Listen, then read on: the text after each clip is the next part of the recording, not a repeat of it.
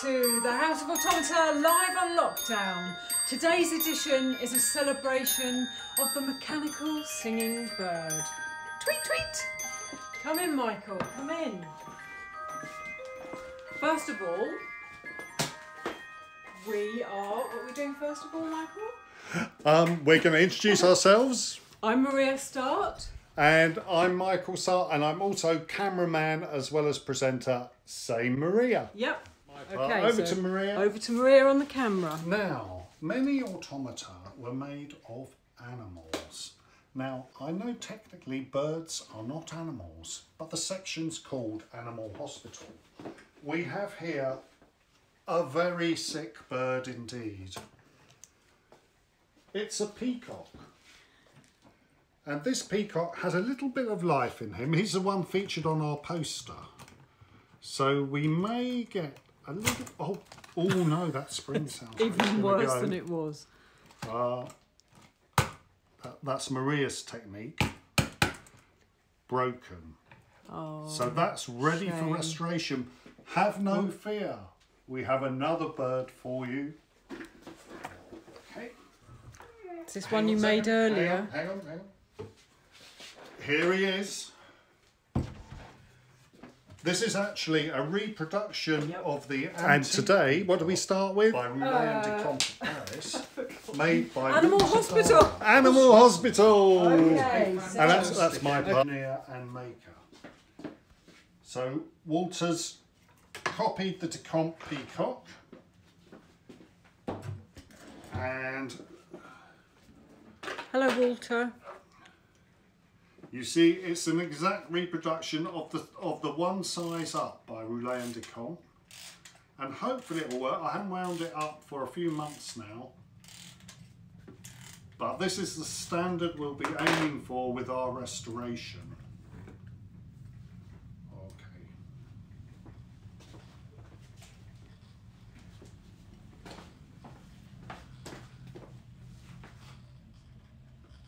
Listen to it sound, Maria and come round to the front because I think Wow. what a wonderful display. All clockwork, a faithful reproduction of the 19th century original, and off he goes. Animal Hospital, this is what we're aiming for, bringing them back to life. So there's our peacock. Now, singing birds Singing birds come in all shapes and form with automata, and we've got quite a quite a journey to go through. Our first one here, I'm going to pass over to Maria Oh, because she's got an enigmatic wooden box here that I hope she knows what to do thanks. with. So do I. So, Maria, could you just open the lid to show us what's inside? yeah, So press down here. I knew that. Yeah, and inside it's there are no plastic parts because this was made in the 19th century and it looks like a kind of computer. Okay, Maria, can you give it a wing?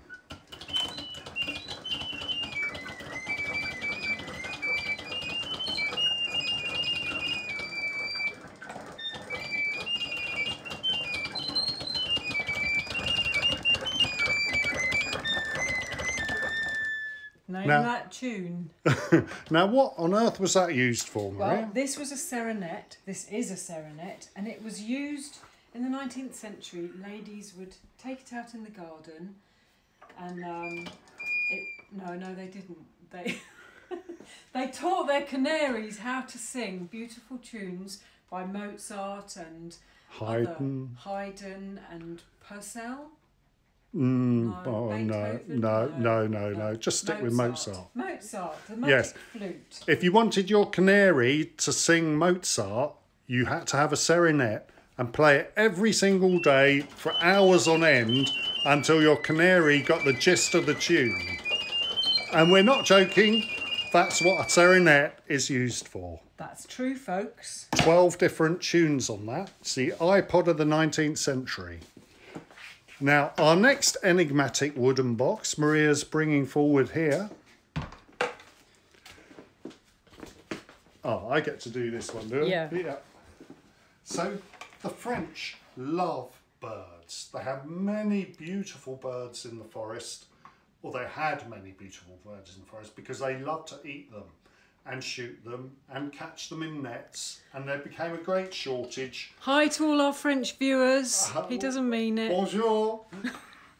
The chant de rossignol was the answer to the shortage of birdsong in your garden. You could take this out into the garden or onto your balcony, play it, and birds would reply to its beautiful song. Clockwork, 19th century, and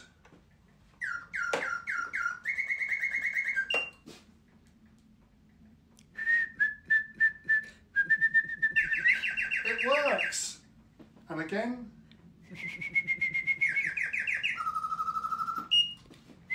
it's quite beautiful. A sophisticated clockwork motor by Bontemps of Paris. But nothing to look at. This is the singing bird with no bird and no cage. So something for the purists if you're a collector. A little bit boring. It's not boring, it's beautiful. There's no singing bird in it. Do you want something more interesting? Yes, Maria? please. Something more to Yes. please the lady Yes, of the please. household and look absolutely wonderful. Show me something salon. lovely. Okay, madame. If your husband comes home not with a weird automata that's slightly strange, but with a beautiful gilded singing bird in a cage, you'd be delighted, wouldn't you? And even if your wife came home with one, you'd be quite delighted. Yes.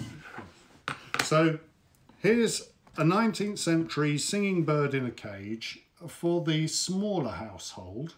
It's 12 inches tall and You sound like you're on QVC. oh, we saw one last week actually. yeah.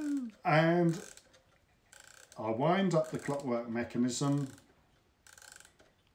The miniature bird inside has real feathers on, and Maria will be telling you more about feathering later on.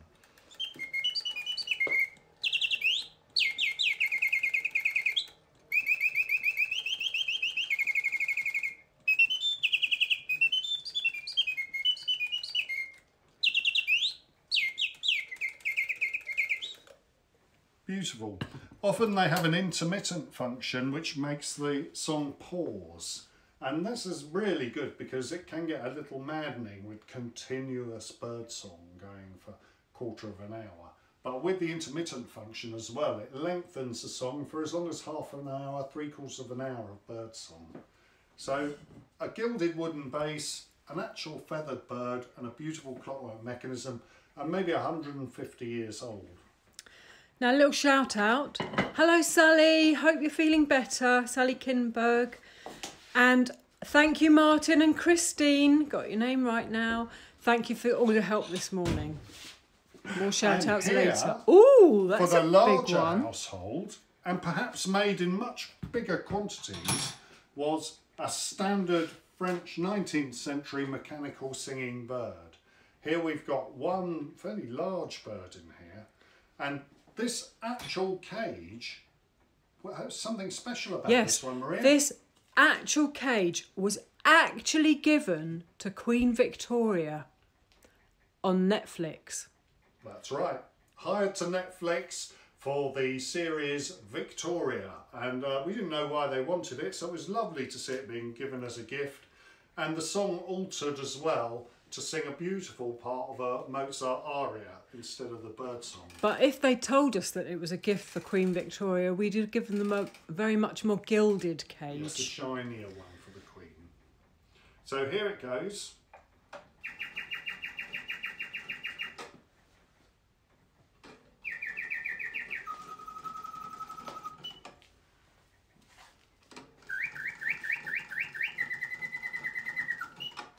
How could you give anything to the Queen that was so cheap?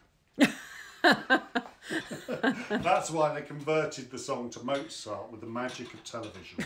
But here we go, a gilded, whoops, irrepressible, gilded wooden base and a beautiful real singing bird.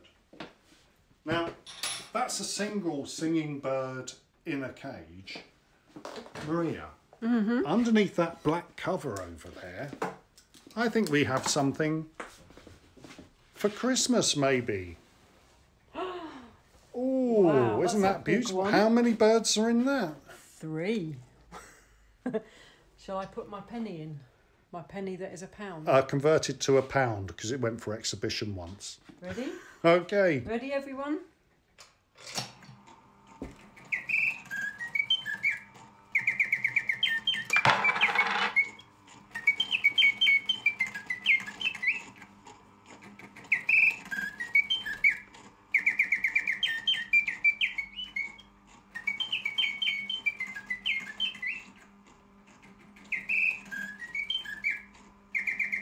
So there we have it, a Bontemps triple singing bird on originally penny operation and now coin slot for whatever coin you like. Again, beautifully gilded.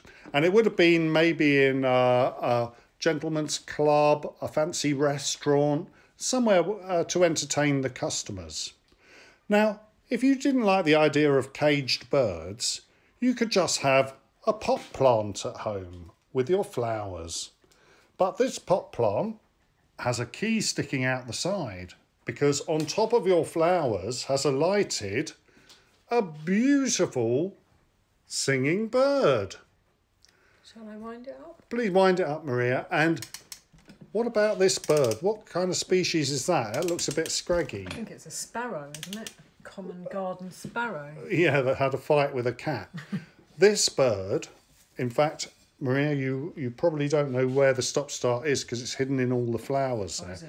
is due for restoration. So, Oh, did you not want me to play it? no, don't play that one, Maria. It's not been done yet. play the bluebird. this is what it should sound like when it's done.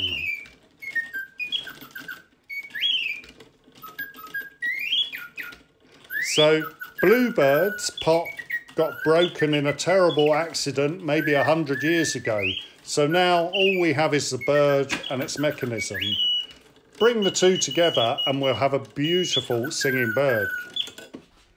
Thank you, Maria. So, singing birds in a pot, very acceptable in the most refined of homes that are phobic to automata and mechanical life. Still happens today, apparently. Is that right, Maria? That is right, yeah. Mm, unfortunately. Oh, they're scary. That. Ooh, it's got glass eyes. Creepy. Oh, I don't like dolls. What do we have under here, Marie? Oh, who could resist Oh. that one? Magnificent. Beautiful. Now that's a present for Queen Victoria. Could be, couldn't it? Is that Sevres porcelain panels on the bottom? It is. Oh my goodness. Shall I take the camera? Okay, you want me to wind this one up? Yeah, you wind it up. Quick shout out to Maud and Fred. We're missing Hi, you. Maud. Oh, we're not quite as slick without you. Okay, here we go with the Sevres panel singing bird.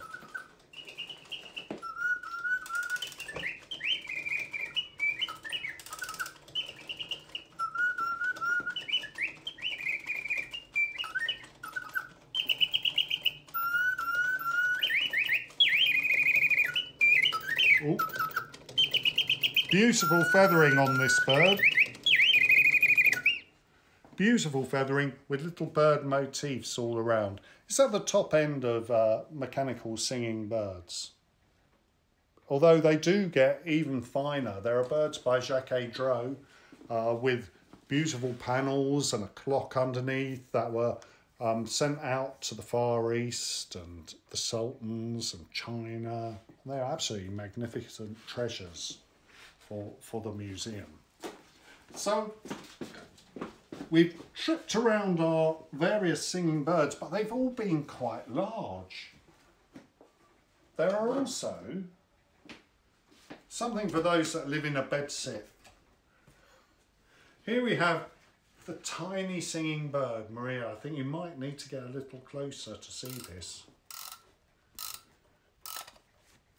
Fairly modern, made in Germany in a silver box. But this exact model, looking exactly like this, been in production for over 100 years.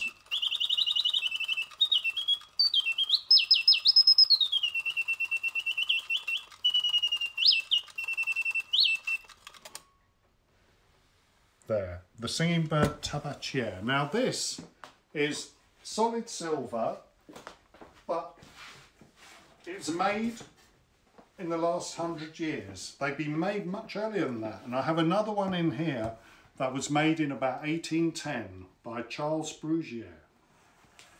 Bruguier, fantastic. You notice it's even smaller than this one, and they come smaller than that. Has its original box, and the key has a special ratchet, so you can't wind it backwards. It has a fusee movement, which is a special device to even out the power of the spring over the duration of the winding. So here the ratchet slips and allows me to wind. 1810, how old's that Maria? 210 years old. Yeah, I'll just get my calculator and I'll tell you. Okay, here we go, here we go.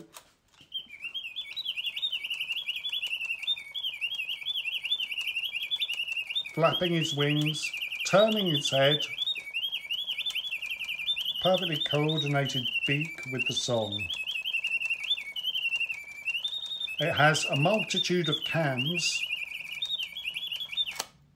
that slide along to give a long playing playing uh, duration. So that's a Bruguier singing bird from 1810 with its original key. So these are, again, these are uh, actually they're middle ranking as it comes to singing birds um, because they do get finer than that with golden enamel boxes and split pearls as well. Fit on, for kings. Fit for kings. And on our website we've got a beautiful song from one of the Jaquet-Droz singing birds on the home page that you can hear. A lovely story. Now I'm going to show you a bird that's even smaller. So we've become we've been getting more diminutive as each bird goes along, and Maria remembered we have even tinier birds. And this one is a little bit cheaper. It's modern. Is it modern, Maria? It is modern. It's made by a couple in Dorset. Oh, hang on, Maria. Hang on. Let's let's have a, a backdrop so we can pick, pick it out. Okay, I've got it.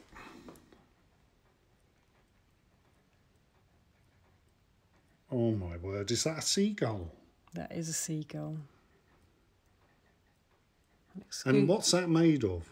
That's made of tin, little bits of coke can, wire, and a little bit of fabric for the wings. That's so realistic, isn't it? Isn't it beautiful? And that's made it's- by Lawrence and Angela St Ledger. And look- Shout out to Lawrence and Angela. Shout out to you two. Look, there's my thumb. Excuse the gardening mud. Thumb, that's how tiny it is. They produce a range of tiny automata we call micros. And in fact, when I was looking for the seagull, I noticed there were several other bird automata that they make. Here's the mother feeding the baby birds in, a little nest. Little baby blackbirds. Isn't that charming? And is that all the Well, uh, all the birds? Michael did think that this was a bird, but I had to tell him that dragons aren't birds. But they do fly, so Oh, can we see its side on Maria as it goes? Because it's got a lovely tail flick, just like you. now, that's a bird, isn't it? no. Is it? Is a dragon a mammal or a bird? They lay eggs. Bird. Oh, there you go. There's And a um, debate we can open up there. yes, and any ideas? Bird or mammal? Dragons. Uh, so does that conclude our quick tour of the types of singing bird, Maria? I think it does. Yes, it does. And now on to modern moments. Modern moments. Thank you. Now, our modern moments of today are incredibly modern. We have here one of my favourite automata that I purchased from a toy stall when I was walking around the Grand Bazaar in Cairo about 20 years ago now. Not so modern. Nearly Oh, antique. maybe it is an antique. Chicken. This has survived. Chicken. some- It's a duck. Oh, is it a duck? It's a okay, duck. it's a duck, but it's but there's a reason why I called it a chicken, which will become apparent in a moment. Here we go.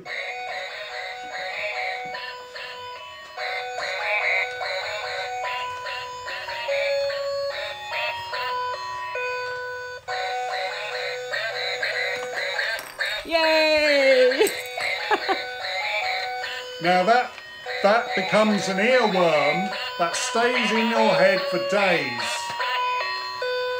Running.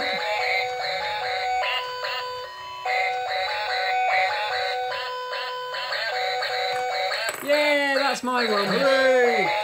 And if you do this in the dark, you'll notice that his beak lights up with a little red light. Fantastic. Just like a real duck. Ingenious. Okay, can you turn it off now? No, there's one more egg. Oh, There. oh! There we go. There we go. Egg laying duck. Now we have Roulin de Comport Paris. A hundred years ago, we're doing exactly the same thing with this beautiful life-sized chicken. Mmm, Beautiful. There you see it. Now, we haven't restored this yet. I mean, Maria's worked for a good few days Shut on the up. feathering. I have not. I put it in the washing machine. Yes, this this chicken's been in a few pillow fights, and I, I don't think That it was chicken winner. is a pillow fight. but it is a hundred odd years old. It is by one of the finest French automata makers, and it probably isn't working. But let's see. Where did they put their on-off switch? Ah, there we go. Walking along. I think he's lacking a. Yeah, he lacks a bit of energy. Where's the music? no music on this. This, this must. Oh. But Shall I sing along? But keep going, Maria. When we've restored it, you'll be amazed because Come on, lay an egg, chickie. there, Oh, there you have a small golf ball posing as an egg. We lost one of the feathers, so keep that Oh, dear, safely. what a shame. Yeah. So there we are. Does exactly the same as our modern moment star, our egg-laying duck, Roulin de Comp egg-laying chicken. We now hand over. Thank you, Michael. We now hand over to the more technical side of our presentation, where we go in depth into the world of tweezers, eyeglasses, loops, and extreme skill exhibited today by Maria in her demonstration of some of the things that she does when she's feathering a mechanical singing bird. So hold on to your hats, here we go. Hello, everybody. Welcome to Maria's Workshop Secrets. So, today I'm going to talk a little bit about feathering a bird. You've seen all the different sized birds that we have, and each job is completely different depending on the size. So, we go from this big to this big. And A lot of people like your singing, Maria. Oh, really? Oh, that's nice. Thank you. I'll do a bit more later on. Um, quick shout out to Nanette Rod. This is for you. Okay, um, so this is a bird that was a Jaquet-Droz restoration project that we did many years ago. This is um, Yeah, it was missing the birds completely on one of the finest bird cages. So we had to use the techniques of the 18th century, dated from about 1790. oh, just So-. So, in fact, th- that this was a trial bird made of uh, boxwood and uh, only using leaf springs. We couldn't use coil springs. But back to Maria Yes, because uh, yes. otherwise she'll be Yes. she'll be So this bird was a bit different to others. This needed a, a real bird body. So here we've got a selection of taxidermied birds. These are very old, very antique indeed, and now incredibly difficult to get because they've become very, very expensive. You didn't shoot these, no? No, no, I didn't. I wasn't alive when these were born, thank you very much, or when they were dead.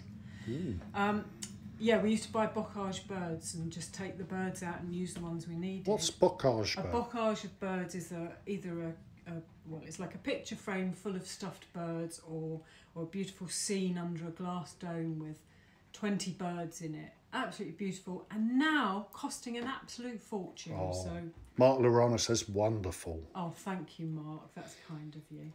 So for this bird, we needed to source exactly the right sort of bird, the right size, and with the right posture. And then we split it open, take out its taxidermy core. That's a that's Ooh. a core of a. It's like an owl pellet. It is, but it isn't. It's a bit of straw that is stuffed into the dead. So taxidermists eat those and then and then poop them out. and that's Michael, how they stuff stop birds. And then the new coat was put on top of this one.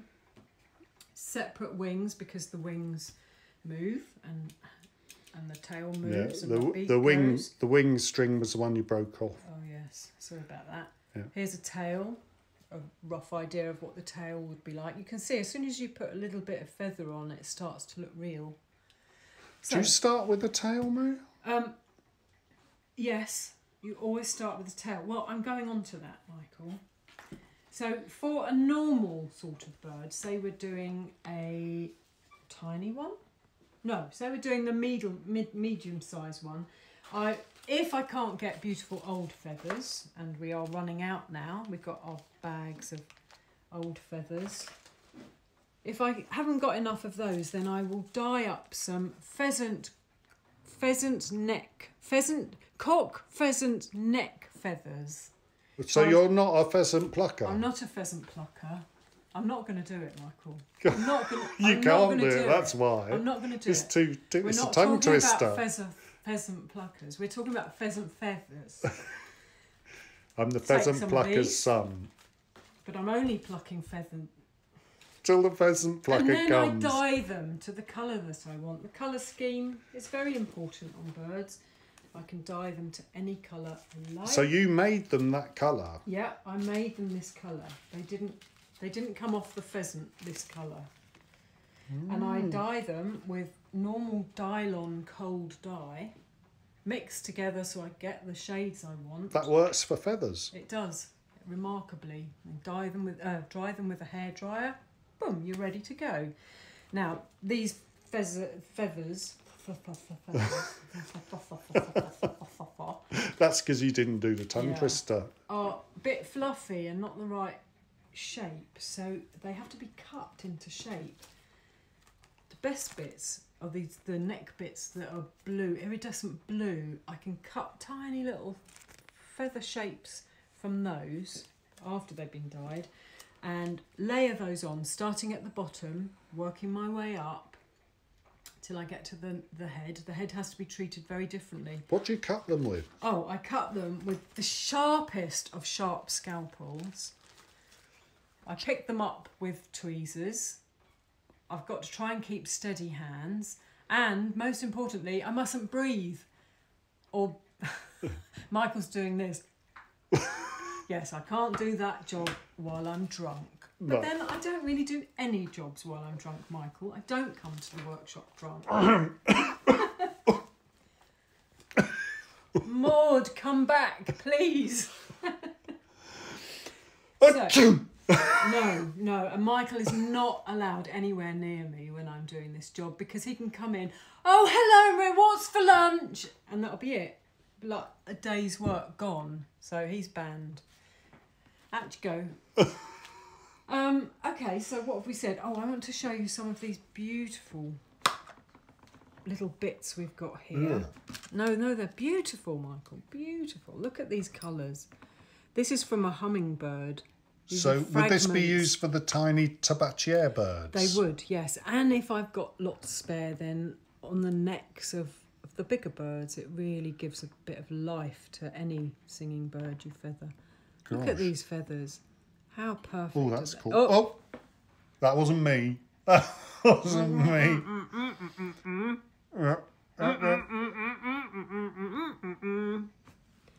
Can I focus like that? There. there. Oh, very iridescent. And that'll, as the bird whistles backwards and forwards and flaps its wings, they'll catch the light beautifully. Yes. That's right. And here we even have a hummingbird head from a deceased hummingbird. That's tiny, isn't it? It really, really is. tiny. And the, the glass eyes that the taxidermist has used there, of course, we can now use on our restoration of the singing birds. So, Correct. Well done, Michael. Yeah. You've been listening. yeah. Because glass eyes that small are quite hard to find. Now we go on to the really tiny birds. This job, I have to hold my breath even more and I have to drink even less. It's terrible. Can you see that? Oh, is, is that. That's a, a singing bird from one of the snuff boxes, isn't it? Core from the, the tabatiere bird, the tiny little bird that flipped over. This is a particularly tiny one, actually. Particularly tiny. Here is one that I feathered earlier. Oh, yes, very subtle, yeah. muted colours Yeah. there. And, And you can see, And how did you did you stick all the wings Well- together and everything?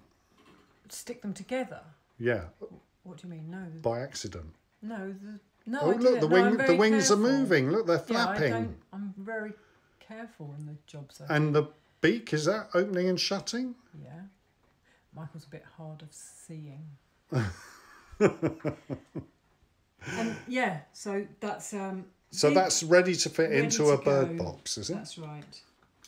What more can I tell you? Well, that's when we've marvellous. The feathering, then What- we've got what lovely oh. selection of shh, lovely selection of flowers. What glue? Uh, what glue? glue? Conservation PVA. Really? Yeah, really. Dabbed on with a cocktail stick. Marvelous. Very technical tool. Is that a very thick? indeed. Is that a very thick glue?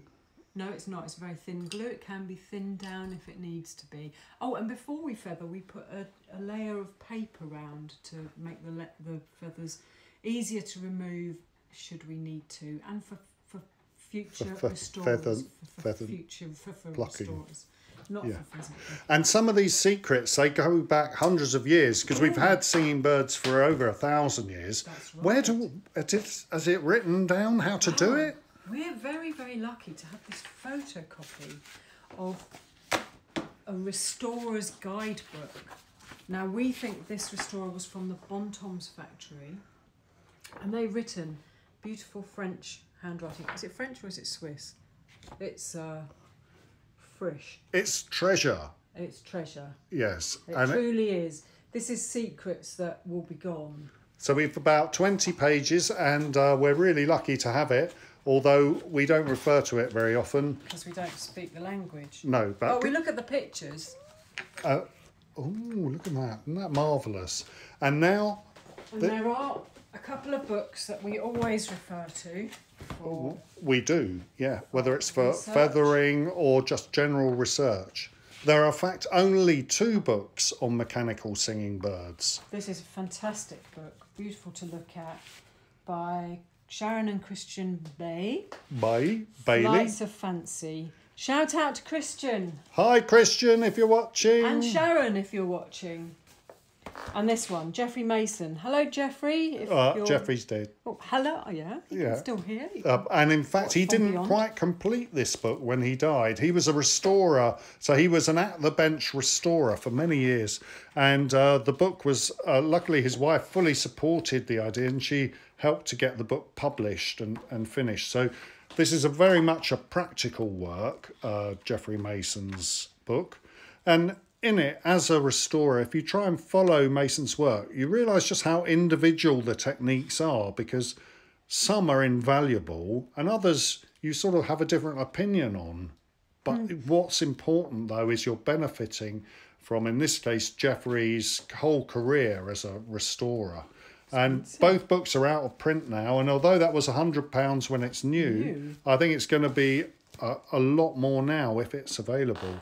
And uh, L'Oiseau de Bonheur, Flights of Fancy here is even rarer. And I think it was published in a limited edition, wasn't it? I think it was. Yeah, we may have one or two, but yeah, that's a Oh, good. That's, mind the feathers, sorry, we send them feathers everywhere. Okay, and that's my bit on refeathering a bird. I Well, hope it was helpful. That was lovely. Maria. Yeah, Thank thank, you. thank you. Maria's workshop secrets, and Ooh. We now come to our next section. Finale facts. And I, Doo-doo. Aha. Who's We, it? Who's it? Is it me? Is it? Is it no, I me? think I'll do this. But we don't actually wanted have the automaton. No, shame we don't that. have it. And if we did, ooh, it would be special. Because the finale fact today is referring to a duck. Not our modern moments plastic duck, but the duck created by one Jacques de Vaucanson. In the 18th century, around 1739, Jacques de Vaucanson attempted to replicate real life. It was predating Frankenstein. There was a, a, a preoccupation with let's see if we can make life and become like God. Now, Jacques de Vaucanson claimed to have done this to achieve what God achieved in making living things by making a duck, a life-size duck. And he took this automaton duck out on display. Packed theatres and rooms would watch as it ate pellets of food from a little plate. And then the whole crowd would burst into applause as it defecated out of the other end its little poos. Because this proved that Jacques Vaucanson had actually created real life. And this was really famous. Vaucanson's duck is still famous today in the AI industries and anyone interested in making real life. Uh, without genetics or anything, he made this duck, but unfortunately, it was a trick. It didn't really poo real poo, it was preloaded poo. There were people who were a bit kind of dismayed at this duck, and Voltaire, the famous philosopher, there's a, a, a death mask of Voltaire there, actually has a famous quote. And if we hand over the camera, we have here Voltaire will now give us his famous quote. Oh. Yes. Hello. This fake shitting duck is a national treasure. Without it, you have nothing to remind you of the glory of France. Thank you. Thank you, Voltaire. Whoops. So, Voltaire, you see, claiming that the whole glory of France is based on the reputation of a shitting duck. Terrible, really. But such is the importance of automata. And that brings us to the end of today's Singing Bird special. And from Michael, And Voltaire. Maria, and Oh. Maria, and our little puppy dog. Have we still got a dog? He's fast Yeah. asleep. Um, we wish you goodbye, and we're really tempted that next week's live webcast is going to be on magic. Magic. Do you think it would be magic? Magic, M&M's magic moment. magic automata. There were a lot of them, and that's going to be special. Thank you for watching. Thank you all over the world. We really appreciate it. We so enjoy this, and we couldn't do it without you. Thank you. Thank you. Bye. Bye bye. Stay safe.